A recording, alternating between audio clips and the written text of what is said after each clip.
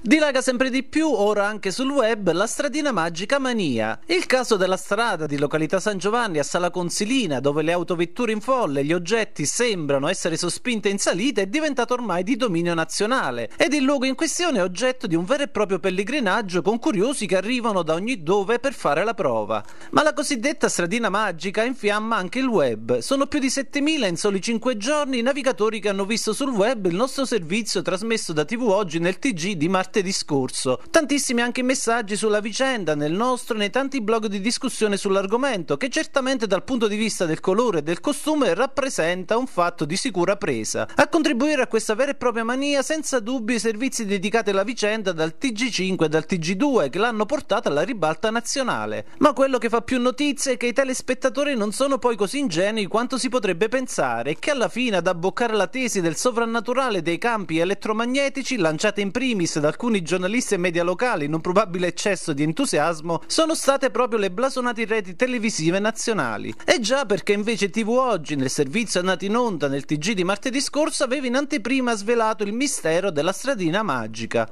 Un umile e volenteroso carpentiere di Sala Consilina, armato di una semplice livella, dimostrava infatti che la strada è solo apparentemente in salita e che a creare lo strano fenomeno è una suggestiva illusione ottica. Il fenomeno è stato ulteriormente spiegato ed approfondito in vari siti web web per chi volesse saperne di più invitiamo a visitare il blog Il Disinformatico cura di Paolo Attivissimo. All'indirizzo web www.attivissimo.blogspot si potrà dunque verificare come TG5 e TG2 abbiano potuto abboccare la storia della stradina magica, che viene definita senza mezzi termini una bufala. La strada dunque sembra in salita per via degli oggetti circostanti, ma basta prendere una livella per accorgersi che in realtà è in discesa. Di strade simili ce ne sono tante nel mondo e sul blog vengono citati altri esempi. E ancora sul sito www.massimopolidoro.com arriva ulteriore conferma dell'illusione ottica, dovuta al nostro limitato senso dell'equilibrio che si affida anche alla vista per decidere in che direzione sia il basso.